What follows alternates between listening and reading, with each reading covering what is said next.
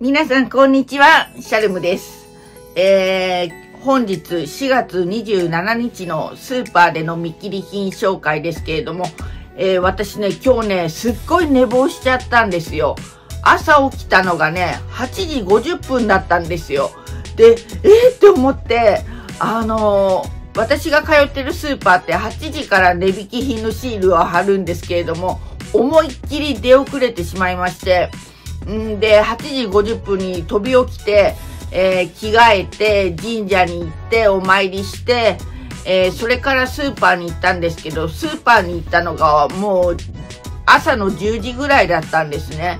はい。だから思いっきり出遅れてしまいまして、えー、お惣菜とかね、もう見切り品ほとんどなかったんですよ。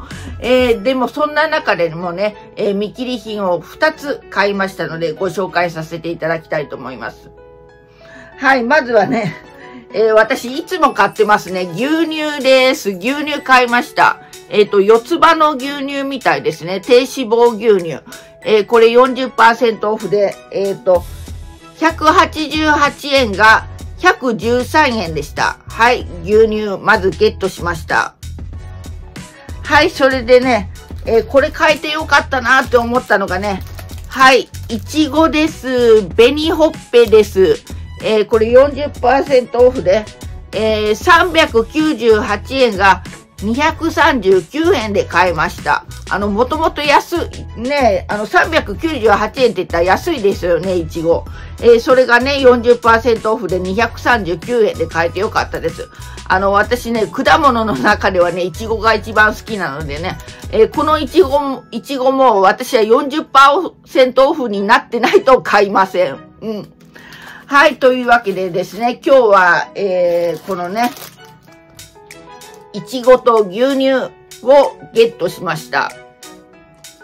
はい、それでですね、あの、昨日ライブ配信させていただいたんですけれども、えー、ご参加いただいた皆様、本当にありがとうございました。はい、ということでね、えー、ライブ配信のお知らせをさせてください。えー、今度ね、4月29日の月曜日、えー、この日は昭和の日ということで祭日なんですよね。えー、なので、あの、ライブ配信をやらせていただきます。えー、えー、4月29日、え、月曜日、えー、お昼2時から4時までライブ配信させていただきます。あのね、いつも私金曜日の夜7時から9時までライブ配信させていただいているんですけれども、えー、その時間帯はね、主婦の方は大変忙しい時間帯だっていうふうに聞いております。で、お昼にね、ライブやってくれると嬉しいっていうお声もいただいておりますので、えー、4月29日月曜日、えー、お昼2時から4時までライブ配信やらせていただきますので、ぜひぜひご参加ください。よろしくお願いします。